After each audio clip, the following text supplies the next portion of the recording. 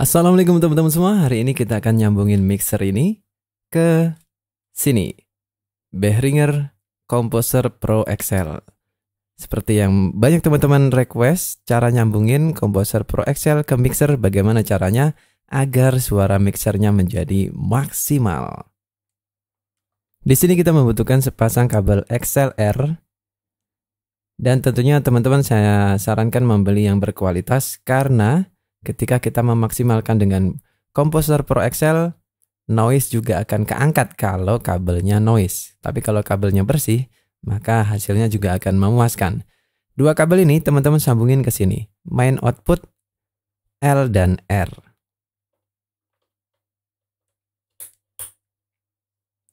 Dengan posisi ini menghadap ke atas.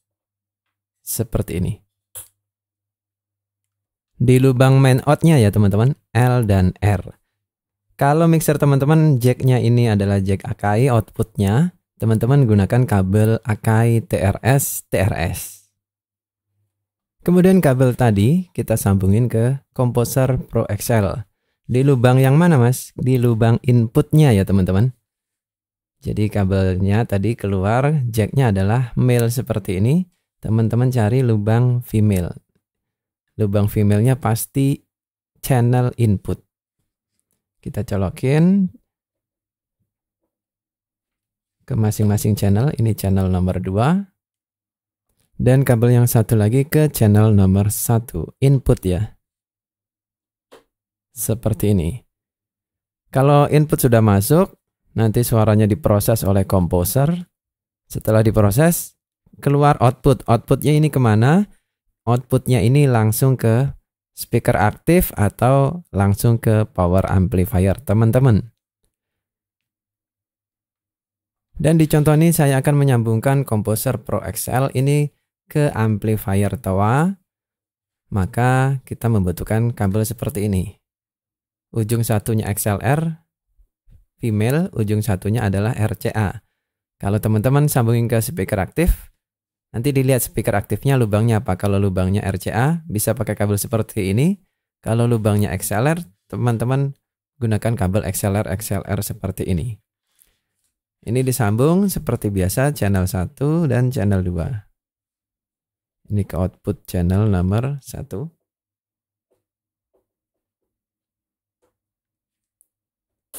Dengan posisi tuasnya ini, pegasnya ini madep ke atas.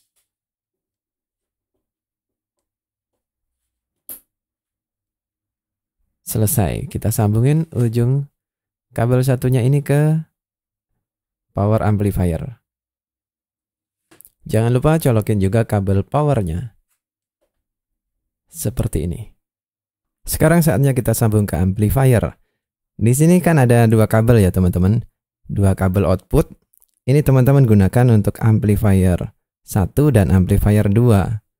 Kalau teman-teman sambungin ke amplifier toa ya amplifier speaker dalam, amplifier speaker luar. Kalau teman-teman sambungin untuk ke amplifier karaoke, kebutuhannya untuk ke karaoke, teman-teman sambungin dua kabel ini ke lubang LR.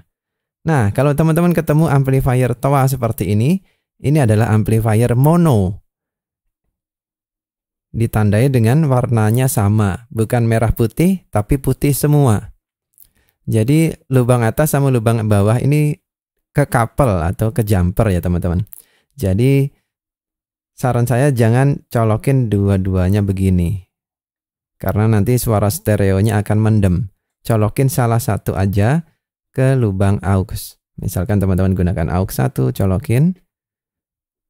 Udah selesai. Dia cuma cukup perlu satu kabel dan untuk kabel satu lagi, teman-teman sambungin ke amplifier yang kedua.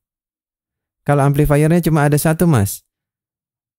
Mau dipakai semua kabelnya, teman-teman sambungin ke sebelahnya. Agar suara stereonya tidak hilang, tetap mewah, dan volumenya menjadi lebih kuat. Seperti ini. Tapi kalau amplinya ada dua, cukup satu aja teman-teman. Nggak perlu pasang dua-duanya. Nah ini bisa dicolokin di amplifier berikutnya. Contohnya ini, ini adalah untuk amplifier speaker luar. Kita colokin di sini. Selesai. Dan teman-teman bisa lihat di lubang RCA ini ada panah atau garis hitam atas bawah ini maksudnya lubang atas sama lubang bawah ini di jumper ya teman-teman. Jadi hati-hati kalau masukin sinyal stereo ke dua lubang ini nanti suara stereonya akan hilang karena ke jumper. Kalau saya pribadi, saya tidak suka stereo digabung jadi mono, nanti suaranya malah jadi nggak enak. Kecuali ada rangkaian op-amp tersendiri untuk menggabungkan.